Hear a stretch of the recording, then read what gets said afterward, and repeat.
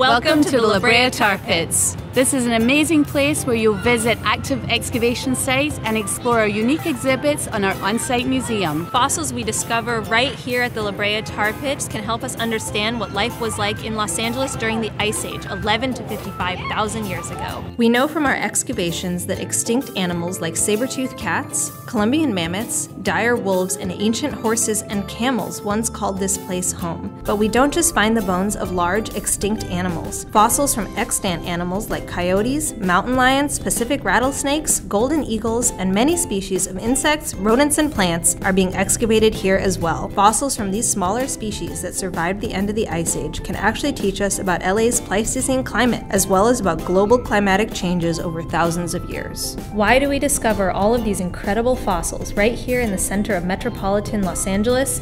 Because of asphalt. Much of Los Angeles sits on a giant oil field called the Salt Lake Oil Field. For thousands of years, tectonic movements and earthquakes have pushed this subterranean oil up to the surface, where it settles in small, shallow pools known as asphalt seeps. They might not look like the deep pits of black ooze that many of us imagine when we think of the tar pits, but just a few inches of sticky asphalt is enough to trap an animal as big as a giant ground sloth, like a fly on flypaper.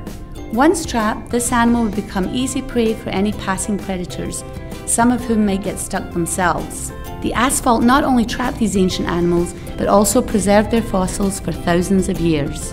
Asphalt is such an amazing preservative that we are able to recover fossils as tiny and delicate as plant matter, dragonfly wings, and lizard scales from our excavation sites. During your trip, make sure to visit our active fossil excavations where we're pulling up new fossils every day. Peek down into Pit 91, our longest ongoing excavation site. Also make sure to stop by Project 23 to see staff and volunteers digging fossils out of new deposits salvaged from a nearby construction site. Everything that we uncover from the tar pits comes inside the museum to the fossil lab. At the glass-walled fossil lab, you can watch preparators working to clean and repair fossils, as well as sorting for microfossils or tiny remains of rodents, birds, reptiles, invertebrates, and plants. Everything will become part of our collection, from huge mammoth bones to tiny microfossils. After being worked on in the fossil lab, these fossils are identified, cataloged, databased, and put into our collections. In addition to our museum's lab staff, we also host scientists from all over the world. Each fossil that we discover can help us answer questions about climate change, extinction, and Los Angeles, our home. The La Brea Tar Pits is a really special place,